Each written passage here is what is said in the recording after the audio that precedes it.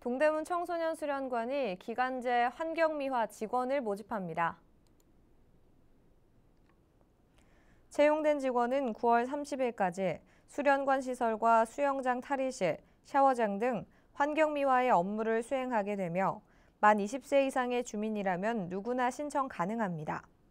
근무 시간은 평일 주 단위 3교대로 오전 6시부터 오후 2시, 오전 7시부터 오후 3시, 오후 2시부터 10시까지고 주말은 오전 9시부터 오후 6시까지 주 40시간을 근무하게 됩니다.